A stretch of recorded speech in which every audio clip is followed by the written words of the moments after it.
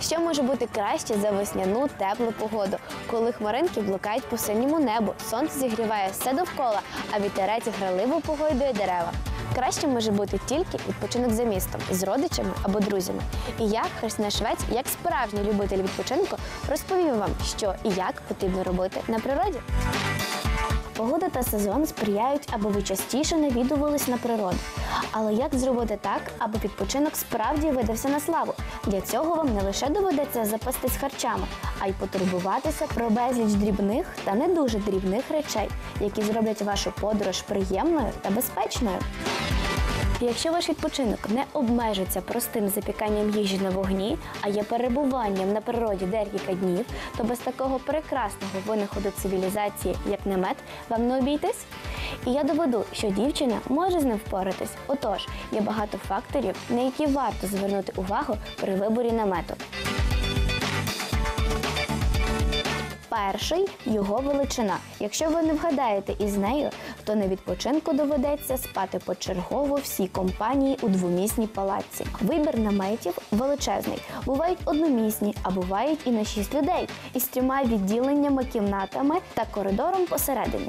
Є ще більші намети. Зазвичай їх використовують військові для 10 і більше людей. А розібратись серед безлічі наметів нам допоможе пані Катерина.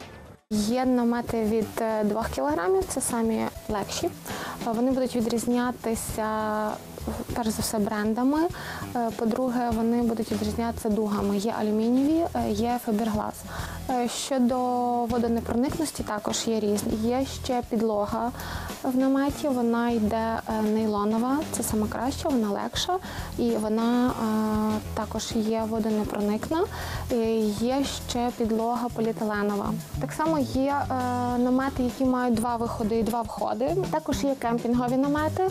Їх зазвичай беруть великою компанією, якщо ви виїжджаєте на автомобілі або якимось ну, там якоюсь екскурсією. Зверніть увагу і на те, з якої тканини виготовили цей намет, адже потім вам у ньому жити і в сонячну, і в дощову погоду. Адже ви самі знаєте, які у нас з вами бувають катаклізми. Окрім того, перевірте, чи є москітна сітка. Вона рятівна і потрібна у будь-якому випадку. Вона захищає не тільки від комарів, а й від мурах та пауків.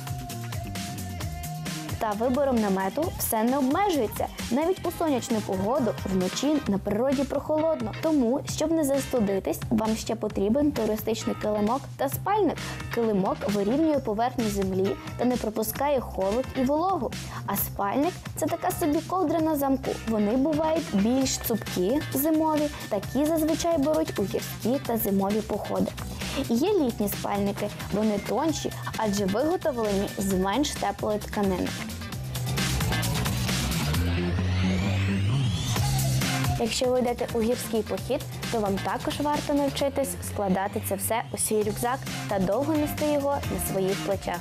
Отож для всіх, хто ще вагається, чи брати дівчат з собою на відпочинок, або для тих, хто ще не вміє складати чи обирати місце для намету, я покажу майстер-клас.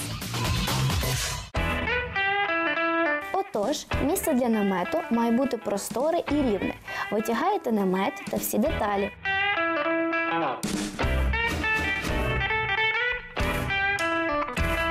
Розкладаєте його на землі та з чотирьох сторін стромляєте цвяшки, фіксуючи палатку на землі.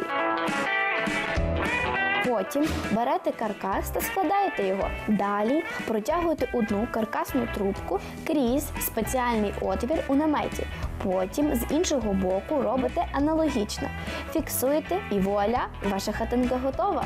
Тепер розстеляєте килимок і кладете туди спальник. Як бачите, все дуже просто. А головне, такий відпочинок вам принесе більше радості та вражень, аніж байдикування у готельному номері. Мандруйте, пізнавайте, а головне надихайтесь красою, яку дарує вам природа. А з вами була Христина Швець. Па-па! Ай-яй-яй-яй.